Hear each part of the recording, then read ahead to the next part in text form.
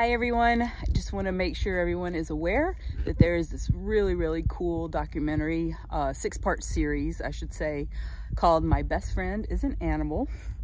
And uh, sort of a silly title, but um, I was very excited. Uh, my family and I were a part of it, uh, talking all about beavers.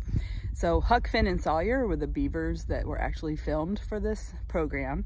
And our episode is airing in the UK Friday, February the uh, 16th at 8 p.m. on uh, Sky on Sky TV. So uh, those of you in the UK will be able to to watch it if you want. I hope you do. And then it's going to be uh, airing internationally coming up uh, in March.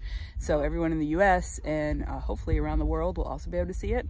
It's a really interesting program talking about the human and animal bonds and uh, super excited to be a part of it. Um, I think, uh, you know, it shows a really nice positive side to how humans need animals and animals also need people.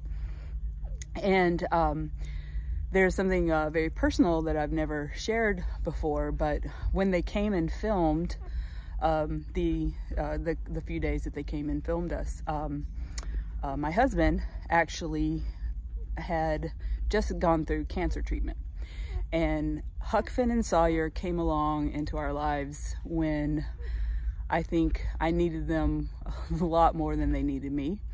And it really, you know, changed the whole whole path that I was on. I, I absolutely, you know, fell in love with beavers, but they helped. They helped me heal.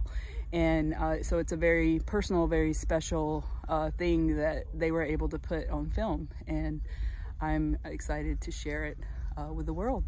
And um, me and Tulip will be tuning in, right? Love you.